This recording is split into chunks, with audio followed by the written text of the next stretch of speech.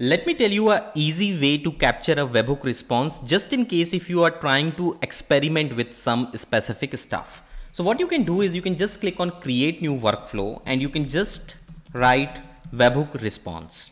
Okay. So the typical process to capture a webhook response is to copy this webhook URL and paste it inside your external software and then perform some action inside your external software so that the webhook response will come right here inside your workflow. But usually the process is a bit longer and if you really want to experiment with something it becomes a, a, huge burden in itself. So let me tell you an easy way in which you can actually capture some data without even having to paste this URL somewhere.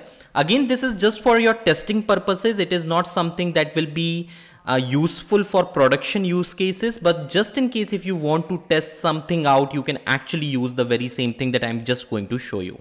So the very first thing that you have to do is you just have to copy this webhook URL and click on capture webhook response button right here.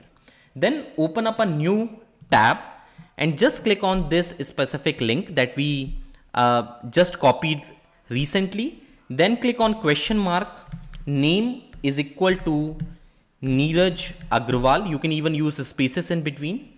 And then if you want to capture any specific data, you can again write email is equal to this and city is equal to Delhi. Okay, so we actually have key value pairs, three key value pair. First is the name, name is Neeraj Agrawal. Second is email, email is this, and then the city name is right here. Okay, so we are actually going to give three different key value pairs to this specific webhook URL. And once you do that, just press the enter button and you can see a response accepted message is showing up right here okay which means that this specific response will be captured automatically and you can see the name is here the email is here the city is here. This means you can start to build your workflow through this random data that you actually published it from your end.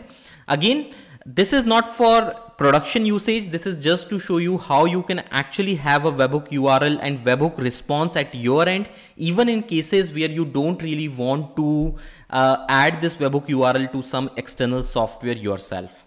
So I hope you will find this small tip valuable for your Pabbly Connect workflow. So thank you for watching this video.